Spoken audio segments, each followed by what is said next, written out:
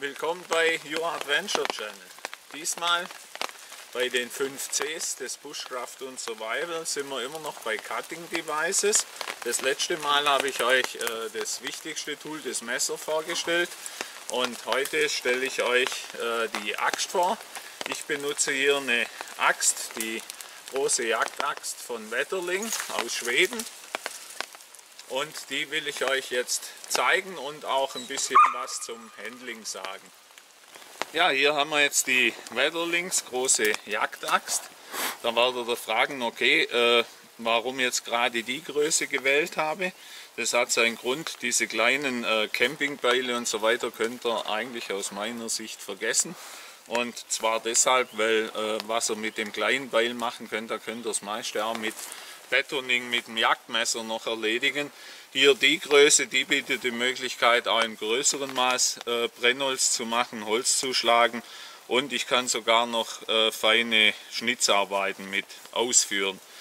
Geliefert wird die Wetterlingsachs mit einer super Lederscheide als Schutz, die ist wirklich hervorragend verarbeitet und aus dickem Leder und die Rasiermesser, scharfe Schneide ist hier wirklich super geschützt und äh, daher der Transport auch super möglich.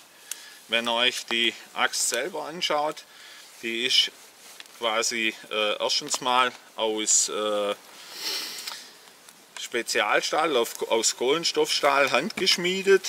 Ja, äh, hat hier hinten auch einen entsprechenden Ding, wo man noch hammern kann und so weiter. Wichtig bei Ihrer Axt ist immer, dass ihr euch das Haus anschaut hier, dass die Axt mit dem Stiel da satt drin sitzt. Wenn das wackelt, wackelt, dann die Axt nicht mehr benutzen, dann wird es nämlich lebensgefährlich. Die Schneide selber, die hat einen leicht konvexen Schnitt. Das bedeutet, ich kann die eben auch zum Schneiden einsetzen und nicht nur zum Holzhacken. Das ist auch ein Vorteil. Die Axt hier hat jetzt eine Länge von 50 cm und wiegt ein Kilo ist handgeschmiedet, made in Schweden. Die wird schon rasiermesserscharf äh, geliefert.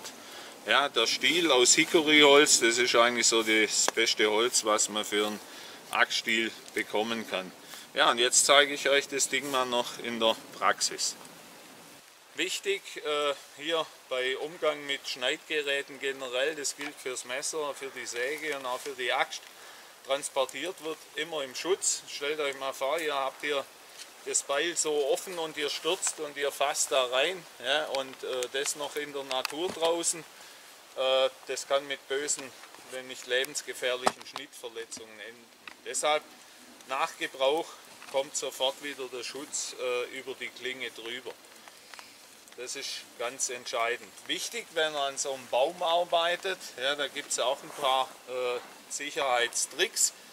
Ihr schlagt jetzt nie auf dieser Seite, wo eure Füße sind, weil er dann schon Chefenwelle in eurem Fuß landet. Jetzt ist die Rinde zum Beispiel total nass und damit rutschig und da kann man gleich leicht abgleiten. Deshalb geht man erst auf der fußabgewandten Seite vor und entastet da. Ja, das bedeutet hier nochmal, ich hacke jetzt nicht auf der Seite ab, ja, wo mir die Axt in den Fuß äh, schlagen kann, wenn sie abrutscht, sondern auf der gegenüberliegenden Seite und dann habe ich hier immer quasi Richtung meine Füße einen natürlichen Schutz und dann kann ich hier entasten.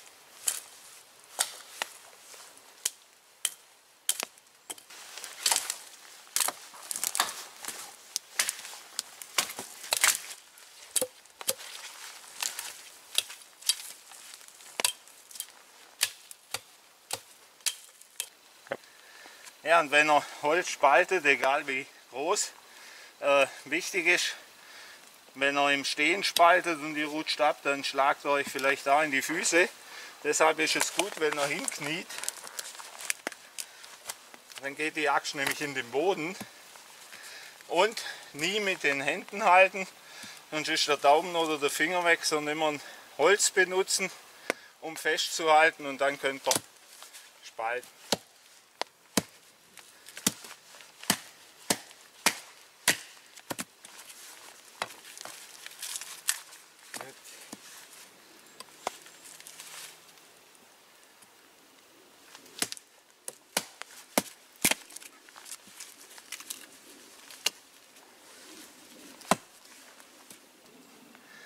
Hier seht ihr jetzt auch äh, kleinere Hölzer. Da braucht ihr keine Axt, die könnt ihr auch hier mit Betoning einfach mit einem stabilen Messer spalten und dann geht es genauso. Ja, und bei den ganzen Arbeiten mit Schneidwerkzeugen nicht vergessen, das Wichtigste, euer Erste-Hilfe-Paket, ja, weil äh, selbst bei vorsichtiger Arbeitsweise kann immer was passieren. Schnittverletzungen sind gerade, wenn man mit der Axt oder mit dem Messer arbeitet, oft stark blutend. Äh, deshalb ist es auch wichtig, dass ihr euch auskennt, okay, wie kann ich so eine Blutung stillen über einen Druckverband und vor allem ihr habt das Material dazu auch dabei, also auch da immer dran denken.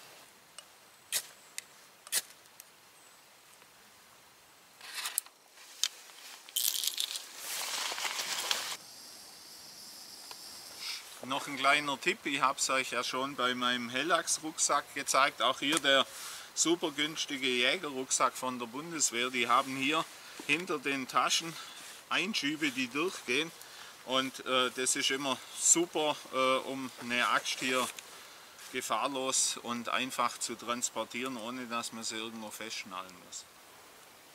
Ja, vielen Dank fürs Zuschauen und äh, auch hier, Danny, danke. Für den Kameramann gibt es jetzt auch ein Käffchen. Danke fürs Zuschauen. Bis zum nächsten Mal. Euer Hans. Ciao.